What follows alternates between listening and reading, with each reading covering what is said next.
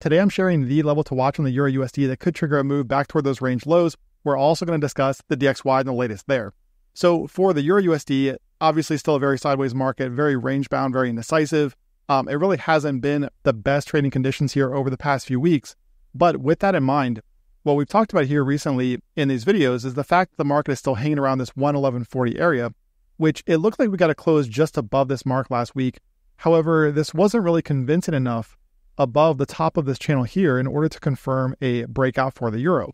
So if you'll notice here off of these two lows, we've got this level up here that runs parallel, right? So resistance back here on the close below, resistance here again. It kind of looked like we might get a break above last week, but not really convincing enough to show that the Euro USD was going to break out toward these highs and potentially higher this week. Now, we are seeing the market rotate lower today. However, the key here for the euro, and we're going to talk about the DXY, a similar level there for the US dollar index, is going to be this level right around 111.10. Okay, so if we map this out here, and I'm going to get rid of this red box that represents um, consolidation in the form of resistance for now, just to make this a little bit more clear. But if you'll notice here, the price action on the daily, we have this low right back here, or this closing price, I should say, off of this red candle. So if we snap this level right here to this closing price, what you're going to notice is that at the moment we have the Euro USD holding above this key level. So notice what happened back here. We got the close above, right? Clearly the market was making higher highs and higher lows back here. This level formed a support level over these two candles. We got the close above, we got the close below, and look what became resistance through here. The market never closed above this mark on this NFP candle. Now, at the moment, you can see where the Euro USD closed back above through here, and so far is holding above it as support. This has been going on now for about a week. So, the level to watch here for the Euro, in my opinion, is going to be this area right around 111.10, maybe just above. Okay, so you can see that this, and I'm going to get rid of this one here just to kind of clean this up a little bit. But this is the level here to watch, in my opinion. So within this range, what you'll notice here is that 111.10 is very close to the mid range of this current range that we're in. So, in other words, if we draw it like this here, okay, so let's go ahead and draw a rectangle across here just to kind of represent the current range that the Euro USD has been in now for the past few weeks. Okay, so if we assume right now that this market is still range bound, which it is, right? It hasn't broken out yet, then this level right through here is essentially the mid range, okay, very close to the 50% of this high back here down here toward this low. So the key for the Euro USD right now is if you were able to get short up here, obviously that was a you know pretty good entry based on today's price action. But if you are sitting on the sideline, in my opinion, it's probably going to take a daily close, a sustained break back below this mark here in order to expose those range lows right around 110. Now, one thing to keep in mind, and we're going to talk about this on the DXY as well, but one thing to keep in mind here with the Euro USD is that so far, what you'll notice back here is this high right here, this high did not take out this one. Okay. Same thing back here. We've only seen one low here for the Euro USD. So, what we know about highs and lows like this is that liquidity forms above highs like this up here and below these lows. Okay. So the fact that the market is still contained within this first swing high back here and this first swing low tells us that there's liquidity below these lows and liquidity above these highs. And markets tend to seek out liquidity. Okay. So if we know that there's liquidity down here, we also know that this is the bottom of this channel here. Okay.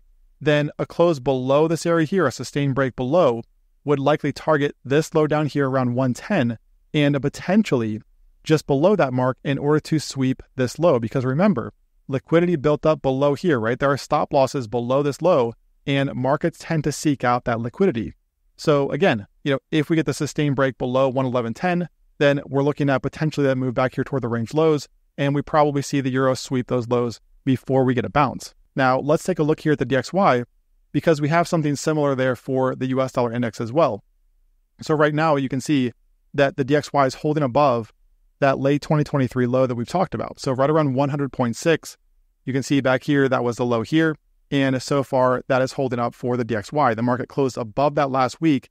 And that's why I said in the weekly forecast that I would not be targeting US dollar weakness while the DXY was above 100.6.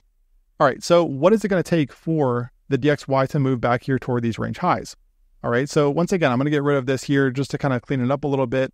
Um, and in fact, I'm going to get rid of this one as well just to make this really clean. Okay. So what we have here for the DXY is we have the market holding within this range. Okay. So uh, similar to the Euro USD, we're going to draw a rectangle across these lows down here and these highs. Okay. So the market is range bound until proven otherwise. And at the moment, the market is coming off of these range lows, right? So this is the level down here that I mentioned in the weekly forecast to keep an eye on. And this is what the DXY would have to break below in order to target 99.6. Now, just because the market is holding above these lows down here, though, doesn't necessarily make this a buy. So the level for the DXY, in my opinion, that it has to get above is going to be this closing price from right back here. Okay, so right around 1, 101.05. And you could even draw this a little bit lower off of these closing prices through here. So, what we can say about this right now is that yes, it is range bound.